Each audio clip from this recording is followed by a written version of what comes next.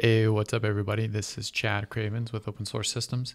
Today, we're going to continue the installation of virtual machines using VirtualBox, the open source virtualization software.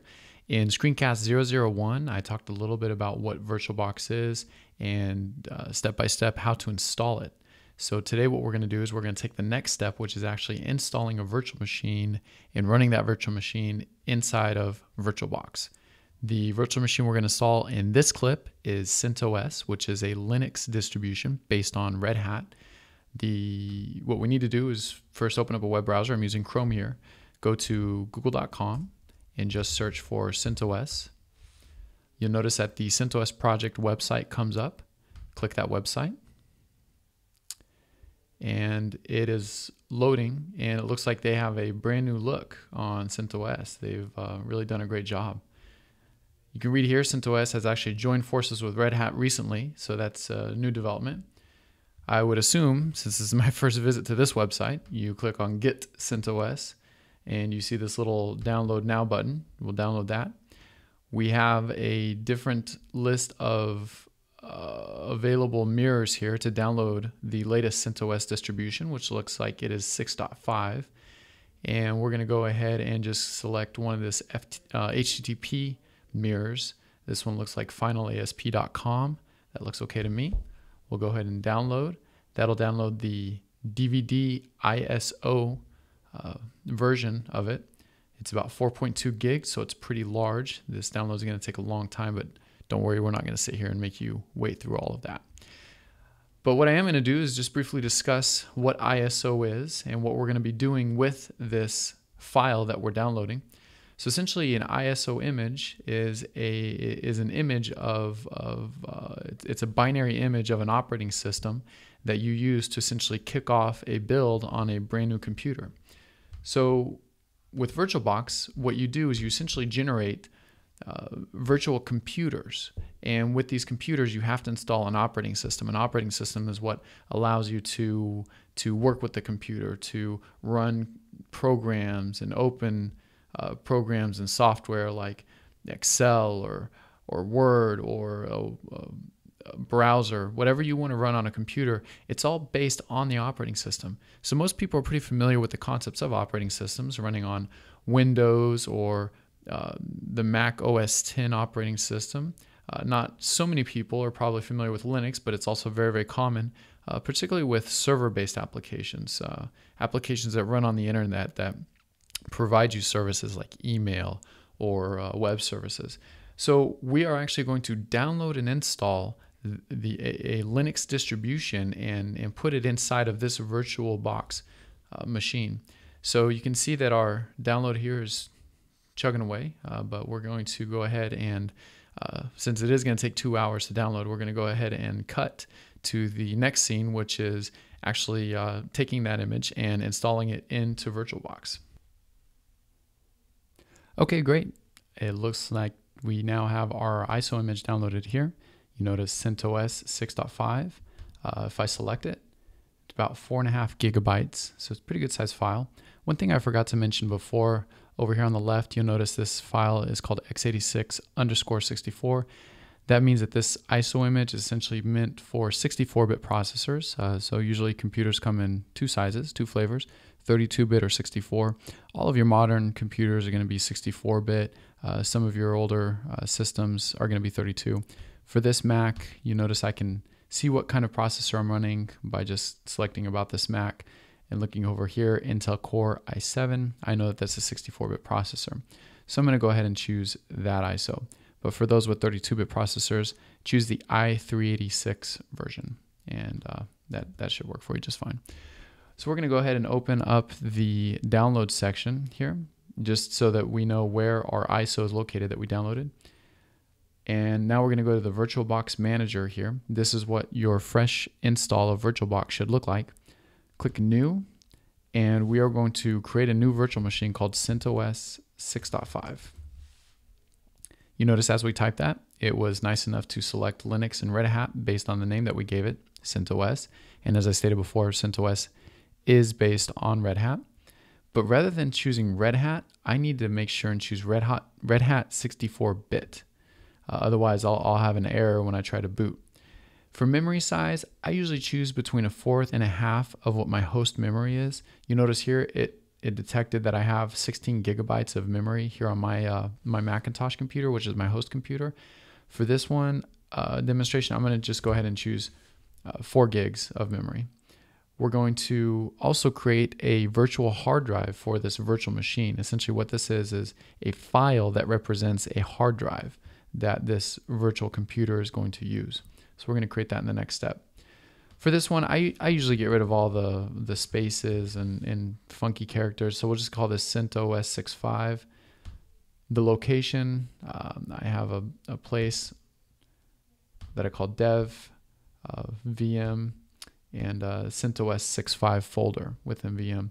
You can put this wherever is best for you. Make sure and change the file name here to CentOS 6.5. Click Save. For files for hard drive size or file size, I usually choose 100 gigabytes. Now this is dynamically allocated while the VM is running, so it doesn't create an initial file of 100 gigabytes. This is actually uh, dynamically uh, enlarged to support the stuff that I install in my virtual machine. And for your hard drive file type, you can just stick with VDI, the VirtualBox disk image. I won't go into what the differences are exactly right now. Uh, that'll be for a later a later screencast. So here you'll notice that we have the path to my um, to my hard drive or my virtual hard drive for my virtual machine. I have the size of this hard drive, 100 gigabytes. So this is like having a 100 gig hard drive for this machine. And I'm telling it to dynamically allocate. That way, it doesn't uh, it doesn't try to create all 100 gigabytes at, at, once. So go ahead and create that. You notice that that's it. That's all it took to go ahead and and create that virtual machine. So next what we need to do is we need to tell this new virtual machine where to find this ISO image so that it knows where to boot. Uh, let me just go ahead and show you real quick what happens if we start this virtual machine. I'll go ahead and click the start button. The virtual machine is starting now. It may take just a few minutes to do that. Okay, so this is like the BIOS. And you notice the first thing that our virtual BIOS told us is that no bootable medium has been found and the system was halted. So essentially what we have is we have a brand new computer uh, here and it's telling us, I don't know what you want me to do because you haven't told me where to go. We're going to we're going to go ahead and close that and power off the machine. Then what we're going to do is we're going to select this machine, go to settings. Then we're going to go to uh, storage and we're going to select this. Now, what this is is this is the virtual CD CD-ROM drive of my virtual machine. Right now, I'm telling it to to point to my actual DVD um, device on my Mac. But what we're going to do is we're just going to change that temporarily is to say instead of pointing to the one on my Mac, let's go ahead and choose the ISO image that I downloaded. So essentially what this is, is this is like me taking that file that I downloaded and inserting it as a DVD into my virtual machine. We're going to go ahead and say OK. Now, again, we're going to select, make sure our virtual machine is selected. 64-bit is what we chose here. We're going to click Start. We're going to let the virtual machine start up. Boom. It now started up from that ISO. We're going to tell it to install. And it's going to load up the Linux image and do its thing. Now, for those of you that aren't too familiar with Linux, you'll notice that a lot of of interesting characters are coming by, and this may look a little intimidating for you.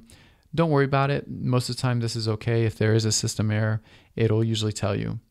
Uh, we're going to go ahead and skip the media test.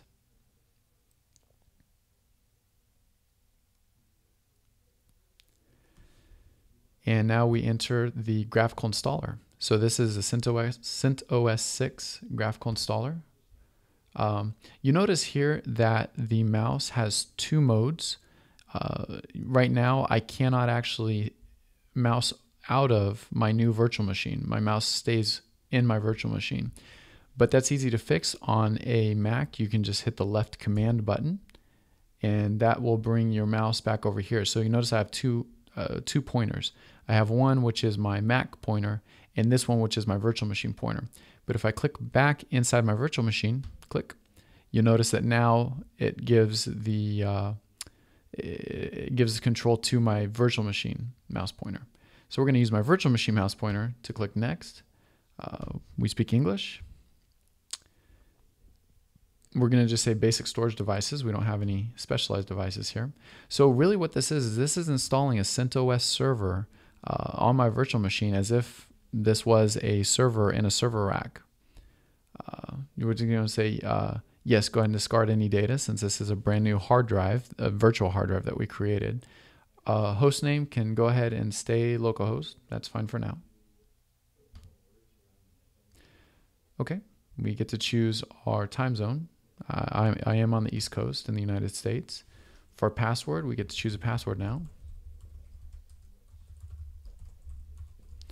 Now this is going to be your root system password.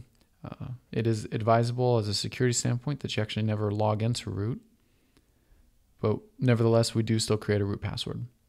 Okay, we're just going to say use all space here. So click this first uh, this first option. Uh, I usually don't encrypt the file system, especially for these VMs. Uh, it's really not necessary. So you you can check these if you'd like, but I just I don't. Um, okay, we'll click next. We'll say write changes to disk. And what it does is it goes ahead, it goes ahead and, and creates all the volume mappings and uh, creates the file system ext4 by default. Uh, and we're, what we're going to do is we're just going to say for this one, a desktop version of CentOS is fine. That'll install uh, really kind of the, the primary packages for a desktop based application. Uh, you can also run Linux as what's called a headless Linux server, which means that it is without any GUIs. It is completely command line based. Uh, I, I run primarily headless Linux servers, but for this demonstration, we're going to go ahead and do the desktop. Click Next. And it will go ahead and determine what packages it needs and begin the install process. So we'll go ahead and fast forward through this install process, but uh, just so that you can see what this process looks like.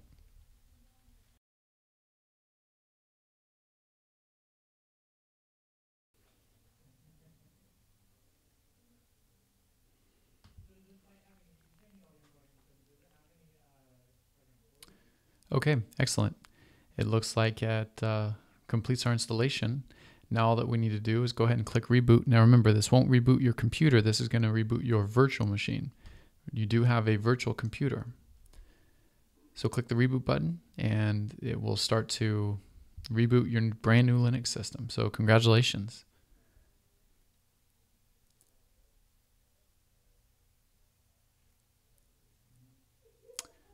Now you'll notice that our boot screen now looks a little bit different. We have these bars here at the bottom, which are typical for CentOS to indicate that the system is booting up properly.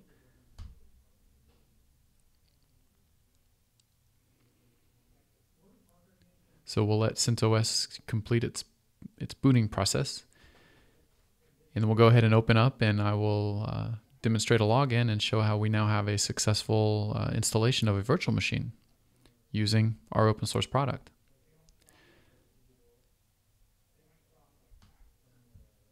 It sets the resolution appropriately. It looks like there's a few more steps for finalizing installation. Go ahead and click yes for the licensing agreement if you agree. Now, before I had mentioned uh, it's never a good idea to log in as root, but we created a password for root anyways.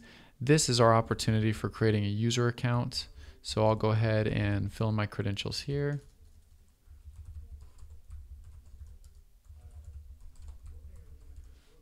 Like that.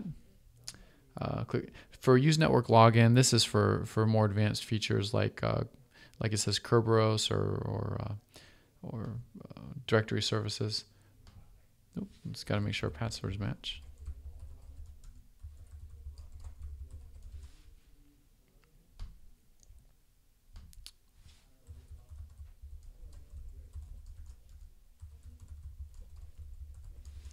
Looks like I'm having a rough time with passwords today.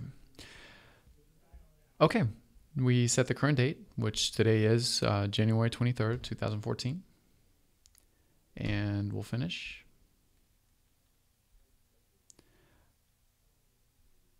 Um, sure.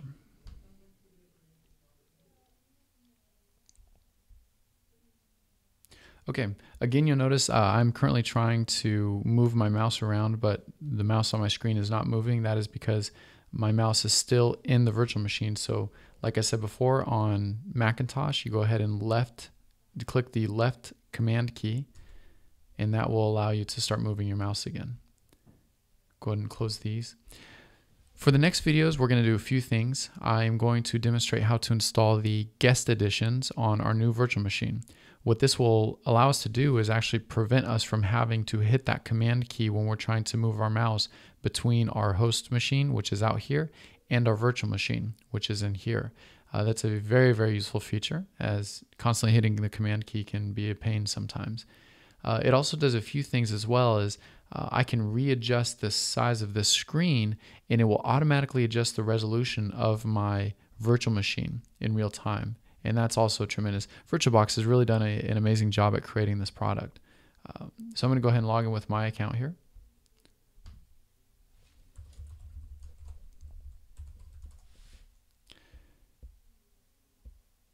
And it's going to go ahead and initiate my account. So congratulations, you now have a full Linux installation, um, a virtual Linux installation installed on your computer. Again, this is a, a machine that you can really do whatever you want with, uh, experiment with. You can install web servers um, and database servers for all your testing.